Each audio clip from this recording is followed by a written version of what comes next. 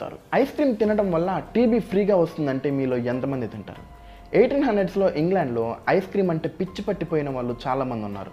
అప్పట్లో కోన్స్ అనేవి లేకపోవడం వల్ల కొత్తగా పిన్నీ లీక్ అనే గ్లాస్ని ఇన్వెంట్ చేశారు.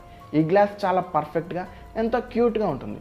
సో కస్టమర్స్కి ఈ గ్లాస్లో సర్వ్ చేసిన తర్వాత ఆ గ్లాసెస్ని క్లీనింగ్ సెక్షన్కి పంపించేవాళ్ళు. ఎంత క్లీన్ చేసినా కూడా ఏదో ఒక మూల ఐస్ అనేది స్టోర్ అయ్యి ఉంది.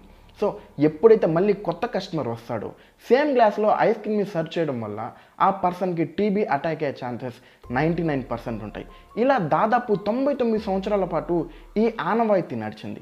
తెలియకుండానే కొన్ని వేల మందికి లేదా కొన్ని లక్షల మందికి టీబీ ఫ్రీగా అటాక్ అయిపోయింది. ఈ విషయం తెలుసుకున్న ఇంగ్లాండ్ గవర్నమెంట్ ఎయిటీన్ నైన్టీ నైన్లో పెన్నీ లీక్ అనే ఈ గ్లాస్ని బ్యాన్ చేసింది.